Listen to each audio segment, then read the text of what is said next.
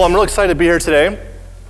Uh, this is uh, the topic we're going to go over today is one of my favorite things with salt um, because it's, uh, my opinion, can make your life a lot easier. Um, it can make your infrastructure smarter. And before salt existed, some of this stuff is things that I uh, really wish we would have had available. So, um, to introduce myself, uh, my name is Dave Boucha. I'm, I'm an employee at SaltStack.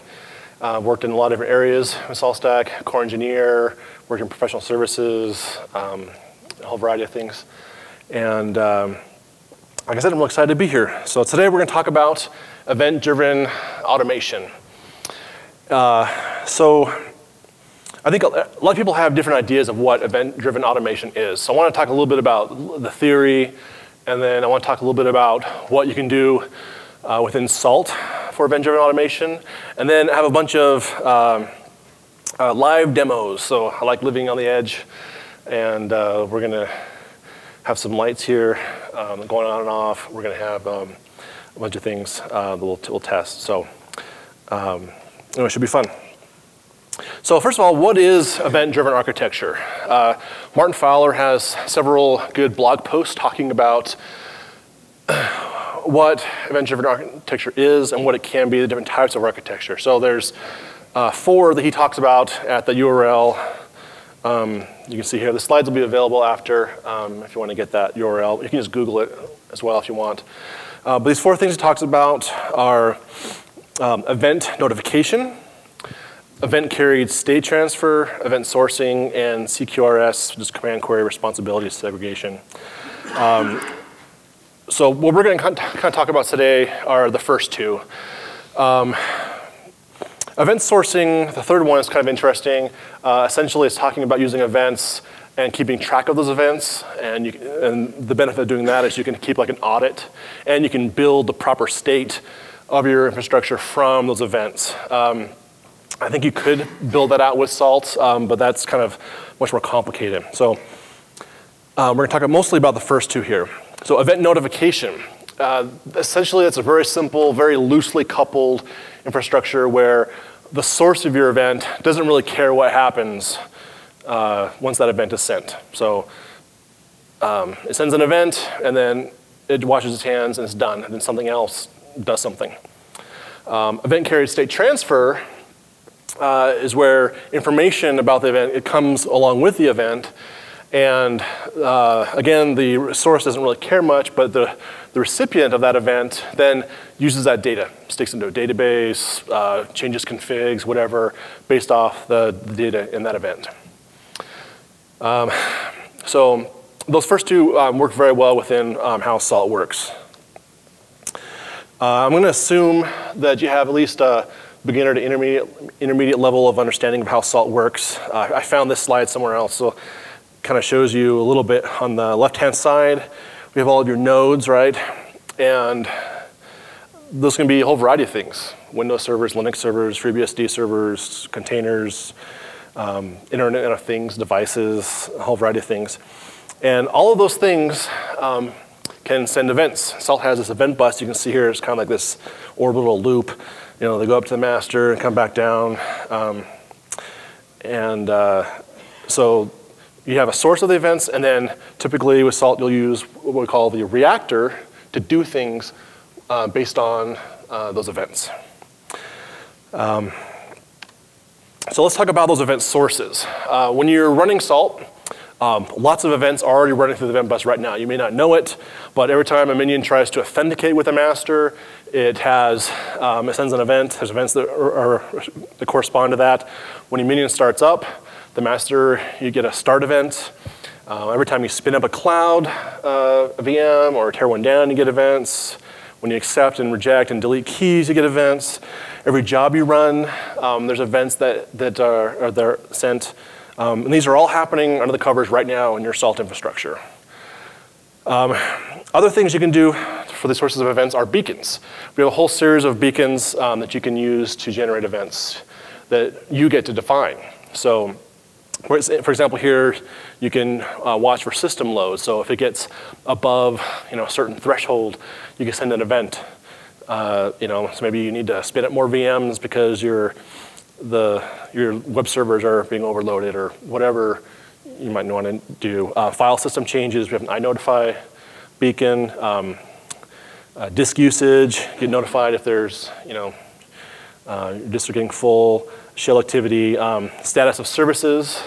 You know, if a, if a service has gone down or if it's dead for some reason, you can, this beacon will check and tell you, hey, you know, Apache's down and send an event and, and then you could do something like that. Um, that's one I wish I had years ago. There was an application that had support um, on some Windows servers and this application just, it would, over the course of about a week, it would just chew up memory, chew up memory, chew up memory, and then about once a week we had to restart uh, this, that service. Um, and it was a known bug. It was a proprietary piece of software.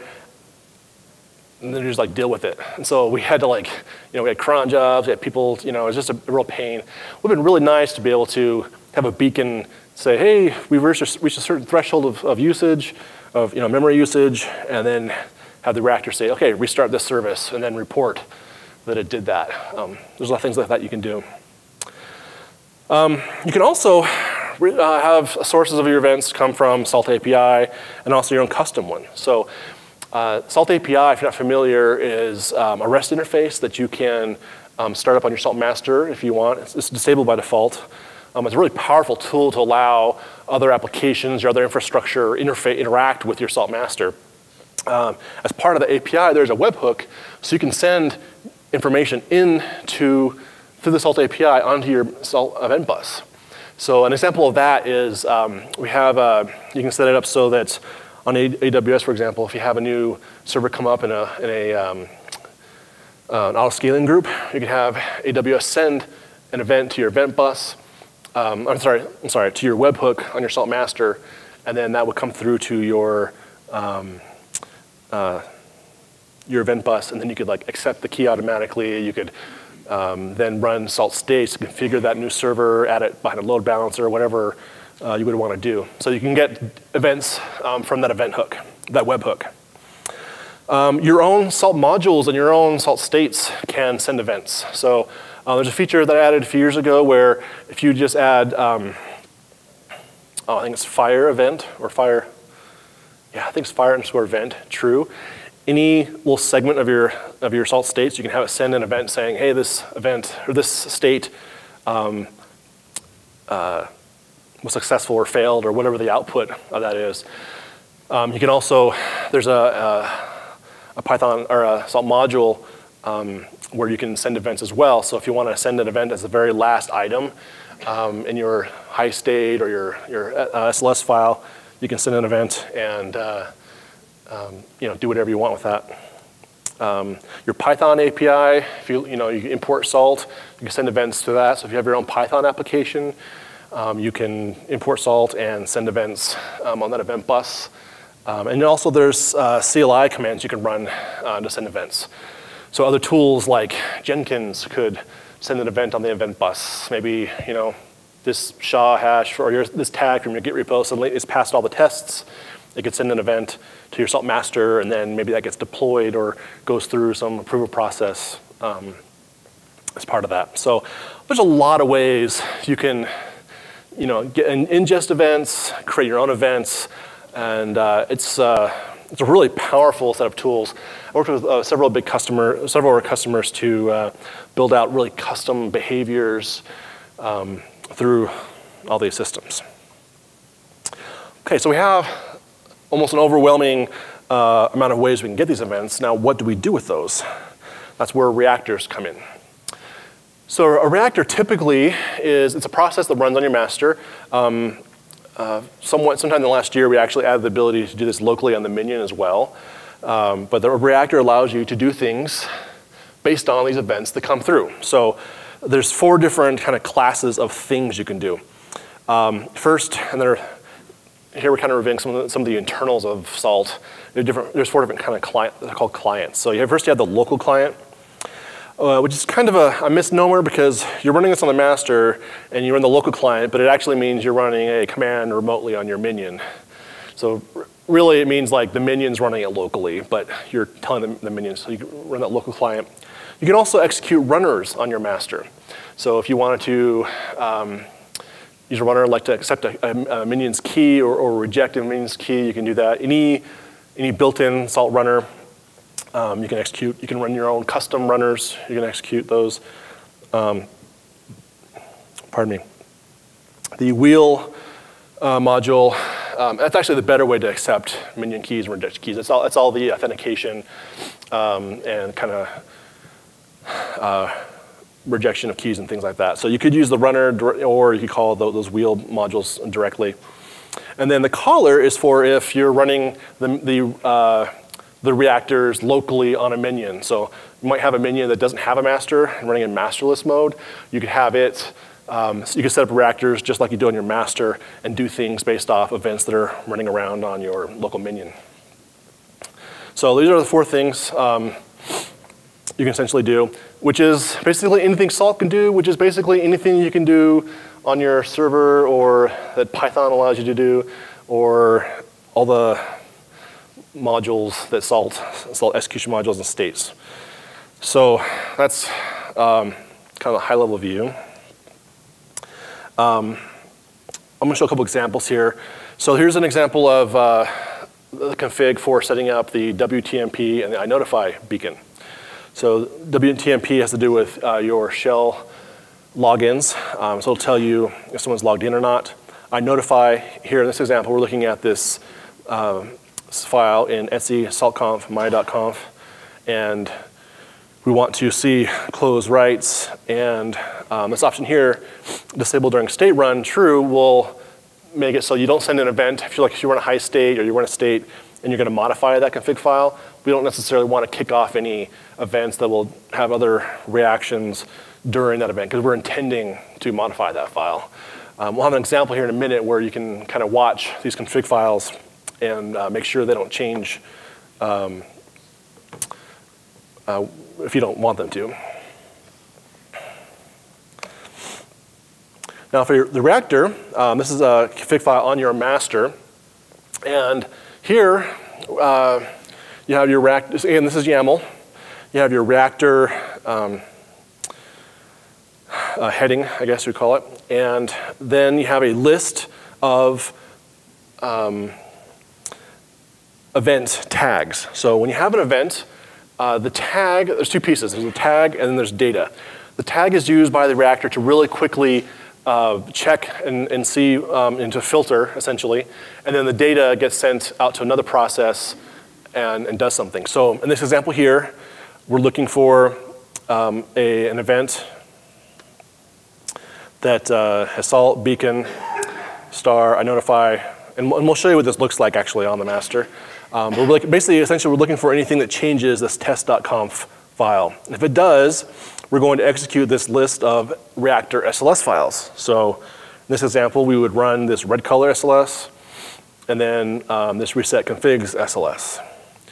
Um, this asterisk here is a, is a wild card because in this instance, um, the minion ID would be there where this asterisk is. So you can do any kind of globbing you want. So I'm saying any minion where this test.conf file is modified, we're gonna run these two commands. You could also you know, have like a partial name, say you have like WebStar for just web servers or something like that.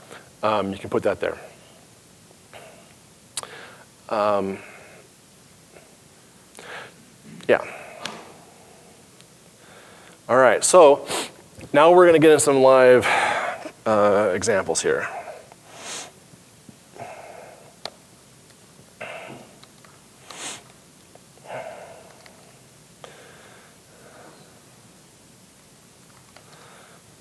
I could type in my password, right?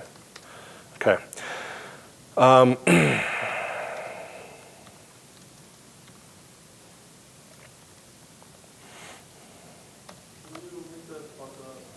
yes, thank you. Appreciate that. Is that good? All right. So in this master config item here, um, we're going to set up the, uh, the, the REST API and we're going to set up a user, this demo user, that can authenticate to the API. Uh, one thing that's interesting, uh, Seth House, who wrote um, the uh, Salt API, he made an easy, this is an easy way to actually um, run a, or expose like a single page application. So we're gonna have a little uh, HTML page, we're in some JavaScript, and we're gonna do some things on this web page here.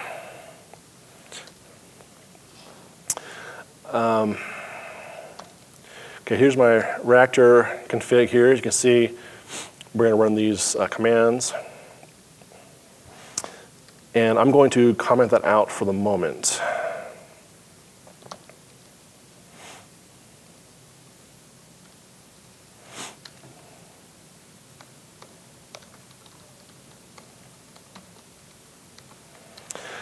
Okay. Um,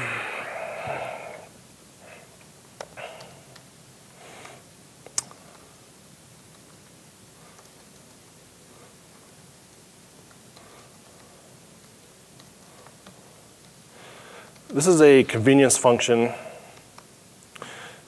so we can view what's happening on our event bus.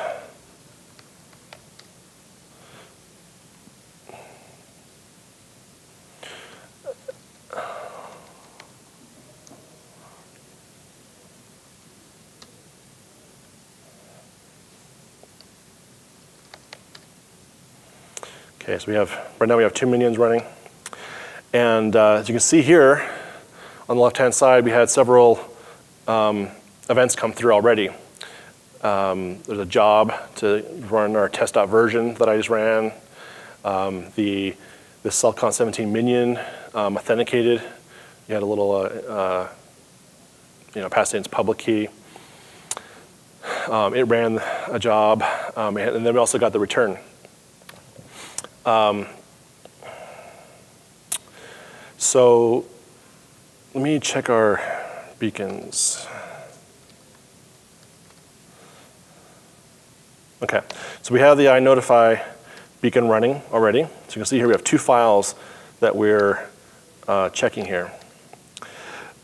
Um, sorry, me. So on the left-hand side,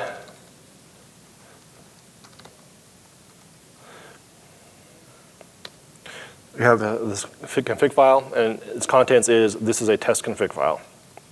Now I have a salt state that will uh, put that file into that status, right? So if I come into um,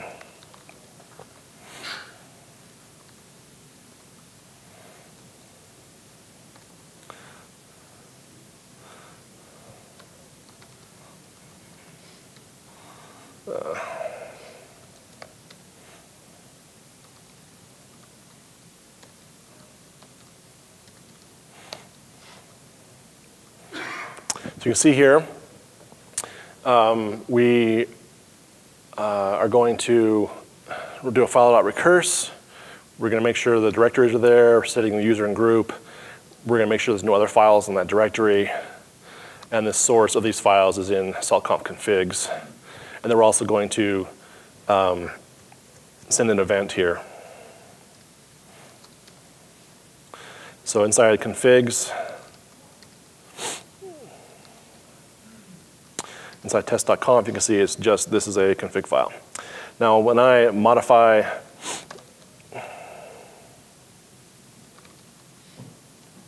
test.conf,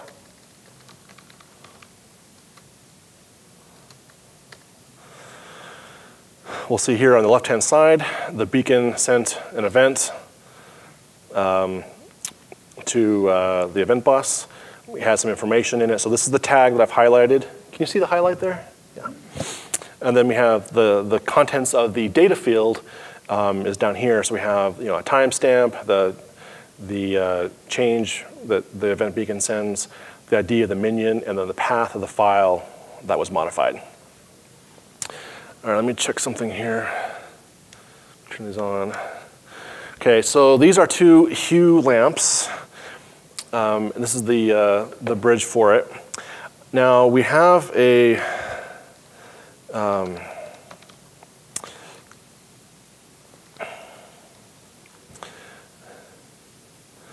a salt proxy um, for the hue. Actually, this was written by our friends over at SUSE Linux.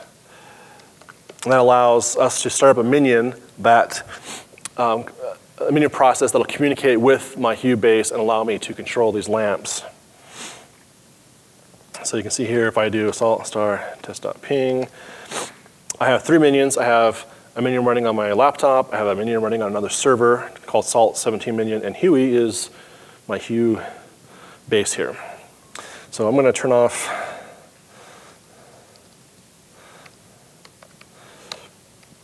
Hue.switch. We'll turn off lamps. To set on to equal to off. Oh, turn all the way off here. Okay, now I'm going to restart the reactor. So we had turned that off. Remember I commented out.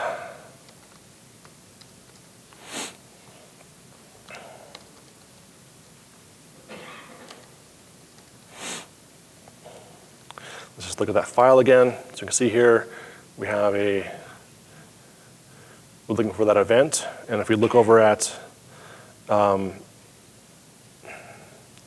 that uh, event we had a minute ago, for our beacon, you can see it will match um, here. So here's the, the tag, and you can see here there's not an asterisk, there's the name of the, the minion, the ID of the minion that's uh, notified us with that. So uh, let's restart our Salt Master now that we have our beacon.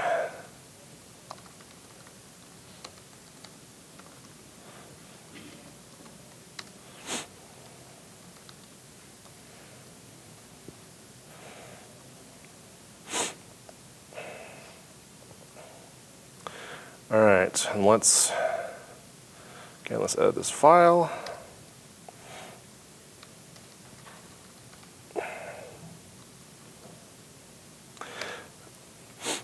Now what's going to happen is we have an, an event that turns the light red because it got the event saying that this file is modified, and then it ran a high state, um, actually not a high state, it ran a state to uh, push down the correct config, and, uh, and then the, the, final out, the final step of that state was to turn the lamp green. So we can see that, um, and if we come back here and cat this file, you can see it's back to just, this is a test config.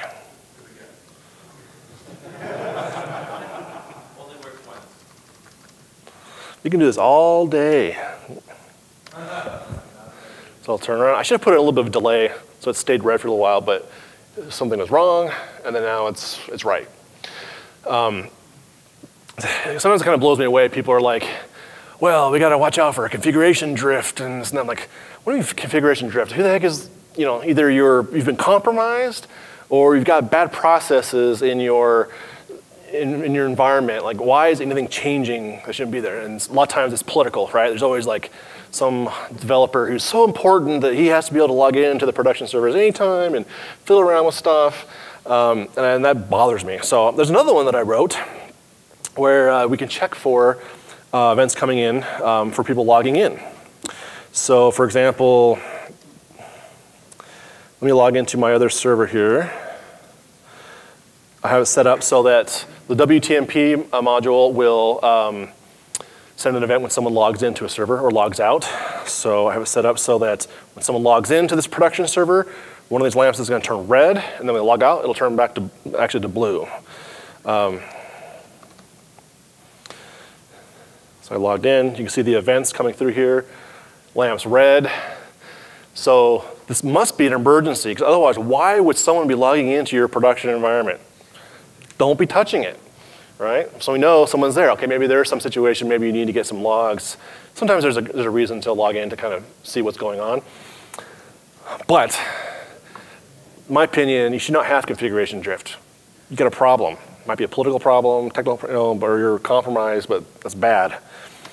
Um, so then, now we log out, and it turns blue. So if you're like Jenkins, you know, all blue's happy. So now we're back out. So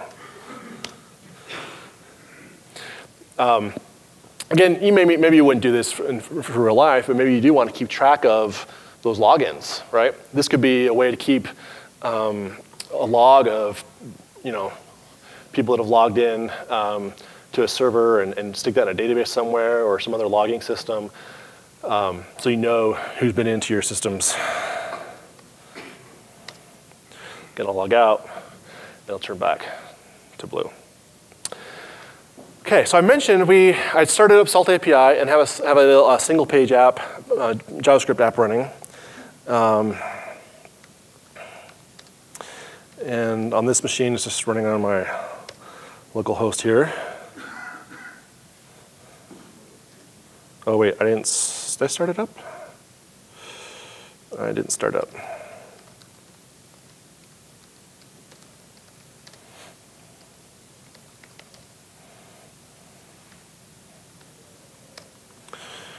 So I need to log in so I can view this.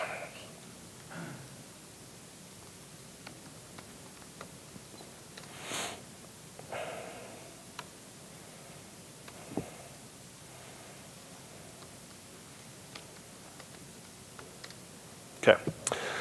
All right, so let's, uh, so I have this set up. Um, there's an endpoint on the Salt API where you can, if you if you log in with your credentials, you can actually watch the stream of events coming through uh, through this API, right? So um, this JavaScript app is set up to listen on that event, uh, event bus, and do certain things. So there's three different classes of events that I've set up to output data here.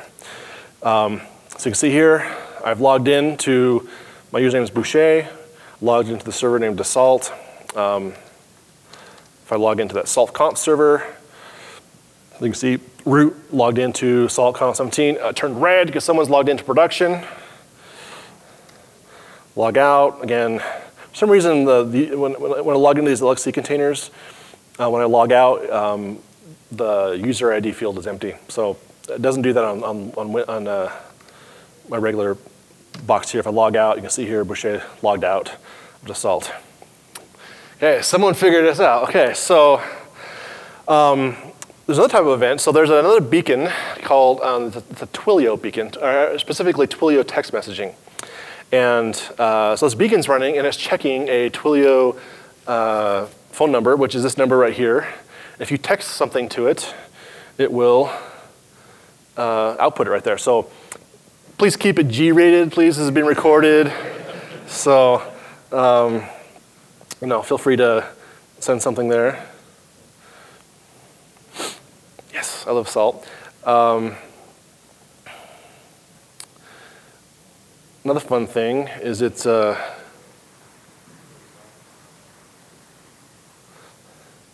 you can also send, actually it's probably it'll do MMS messages as well. So again, what's happening is on our minion, we have a beacon that's checking this SMS queue on Twilio.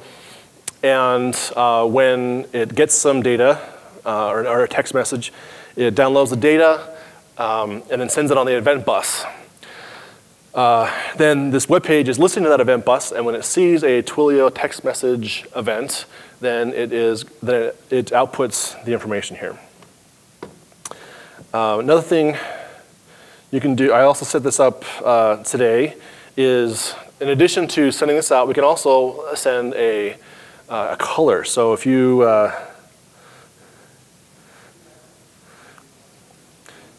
send it a, uh, a, white list of colors, and don't worry, some people have sent in, you know, like rm-fr slash, we don't evaluate anything here, so it's not gonna do anything.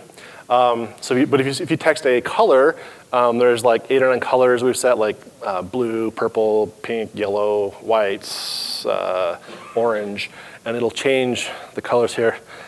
Um, and I think with the Wi-Fi, it's kind of running a little slow. Um,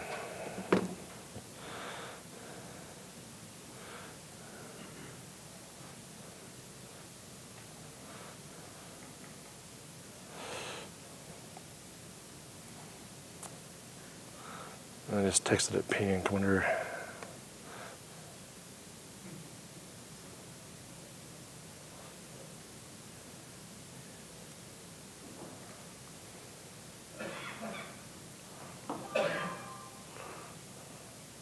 All right, well, apparently we're struggling to, uh,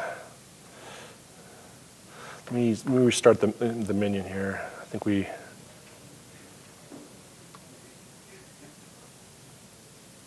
API.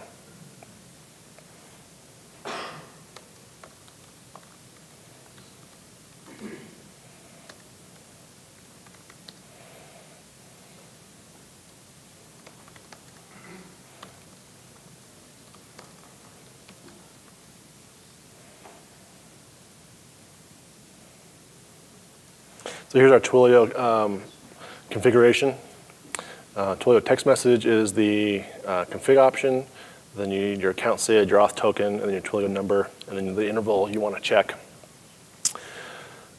um, so you, you would get these in your account um, when you log into Twilio.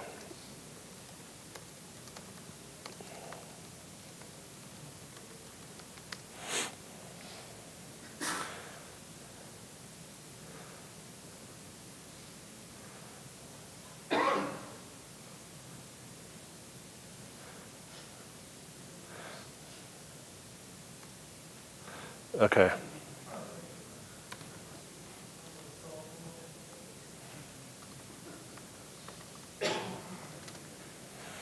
All right, let me try this again here.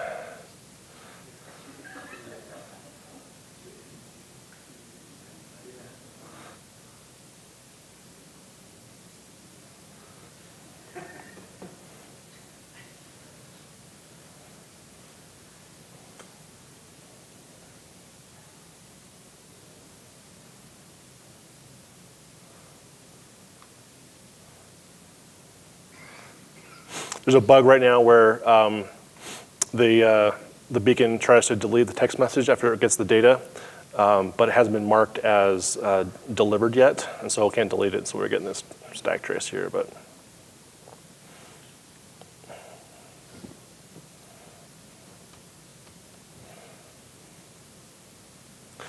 You know, I think um,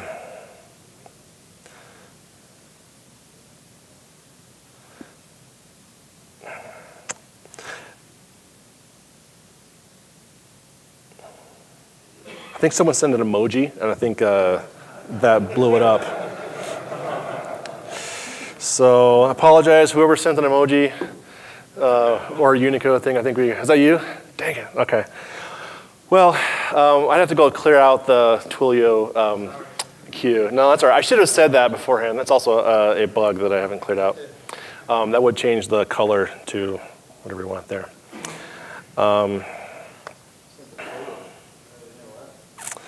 Yeah. Let me. Um, photos work. Um, what's that? Yeah, no, photos do work. Um, it was emojis uh, get um, they come through as um, part of the text field, and uh, it. I, I can actually probably fix it right now. Actually. Anyway, let's we'll, we'll skip that for now. Um, yeah, question? Uh, reactors work with multiple masters? I do not have multiple things firing so the question is, how do you, if you have multiple masters, how do you get the same the masters not to all react to the same event? Very carefully. So in multi-master mode, each master is independent. So in that instance, um, you either have to um, have actions that are idempotent, and it doesn't matter how many times it gets run, or you um, have to have some kind of a, a, way for them to communicate. So maybe check in a database, see if this thing has been run yet. Um, but there's no, you know, in multi-master mode, the, masters are completely independent, um, and there's no uh, correlation there. So.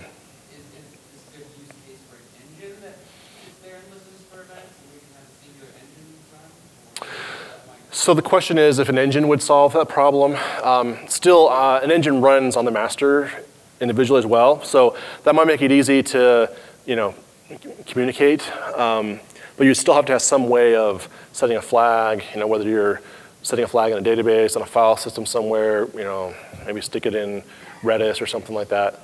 Um, but whatever would work in your infrastructure to, to coordinate, but you'd have to handle that coordination. Yeah, great question though. Thank you. Yeah. Simplest way uh, is pillar. Yeah, so if, that's actually a very common thing. So uh, when I'm setting up actual infrastructure changes using reactors, um, I unless it's something very ephemeral, um, so the, the event bus is very ephemeral, by default it doesn't you know, log or cache any of these things. So if it's something that's ephemeral, like maybe changing the color of a light or some notification you don't really care about historically, um, then you can just act upon that event. But if you were going to um, spin up a new VM or, for example, say you have web servers behind a load balancer, I like the load balancer to have a source of truth so that no matter at any point, um, that load balancer can be replaced. It can be, you know, it can, you, can update, you can run a high state and update its um, information. So, you know, that can come from Pillar or a database or, um, you know, your, whatever central source of, of uh, information. And so with the reactor, I wouldn't just automatically have the reactor go spin up a new VM and set up behind the load balancer. I would um, spin up a new VM, uh, do all this configuration, and then go to that single source of truth, whether that's in a pillar, data, pillar location, um, in a database, and say, okay, we have web server 35 now, um, it belongs behind this load balancer, and then I'd say, okay, now load balancer, update your config, and it wouldn't update from the, the event that we sent, it would update from its source of truth.